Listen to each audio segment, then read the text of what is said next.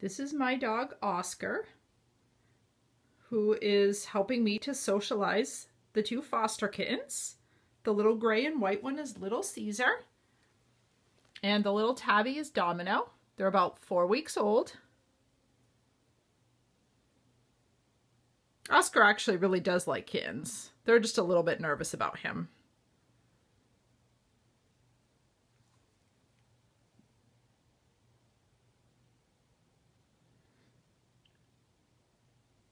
Actually, little Cesar seems to enjoy him.